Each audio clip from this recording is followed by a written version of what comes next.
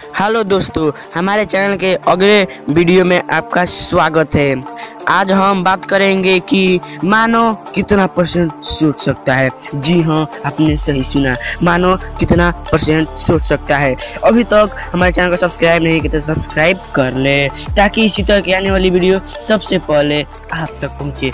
आप, आपसे एक रिक्वेस्ट है कि नॉलेजेबल बीडीटेक की वीडियो चाहते हैं। इसके लिए आप अपना कमेंट कमेंट बॉक्स में दे सकते हैं। और ध्यान रखिए कि आपको दोनों ही पसंद है तो दोनों भी कह सकते हैं। तो चलिए हम अब वीडियो की तरफ़ आगे बढ़ते हैं। अब आप सोच रहे होंगे कि, अबे, ये क्या कर रहा है? हम तो अनंत तक सोच सकते हैं। हमारा मस्तिष्क अनंत तक सोच सकता है। जी हाँ मैं भी कहता हूँ कि आप अनंत तक सोच सकते हैं।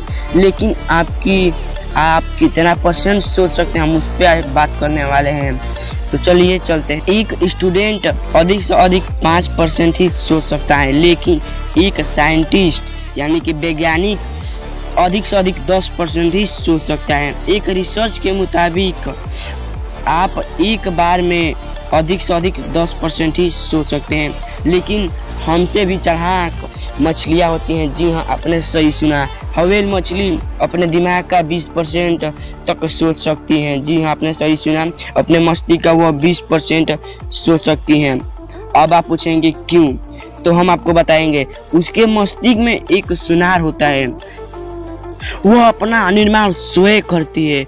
जी हाँ वह अपने सुनार का निर्माण स्वयं करती है। वह अपने शिकार का पता दूर से ही लगा लेती है उस सुनार के मदद से। अब आप पूछेंगे कि हम तो 10 परसेंट तक क्यों सोच सकते हैं? अब हम जानेंगे कि मानो 10 परसेंट तक ही क्यों सोच सकता है। तो आपका यह सोचना सही है।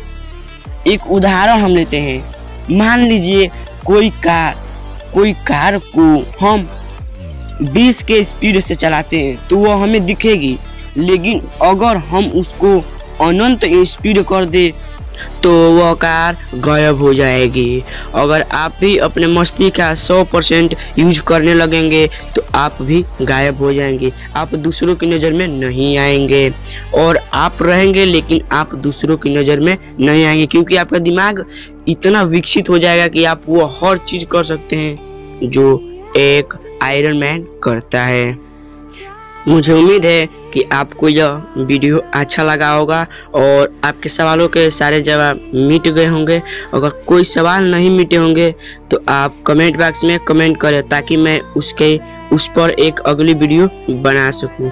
अगर वीडियो अच्छा लगा हो तो इसे लाइक करें और अपने दोस्तों के साथ ज़्यादा से ज़्यादा शेयर करें ताकि वो भी इस जानकारी के बारे में जान सके।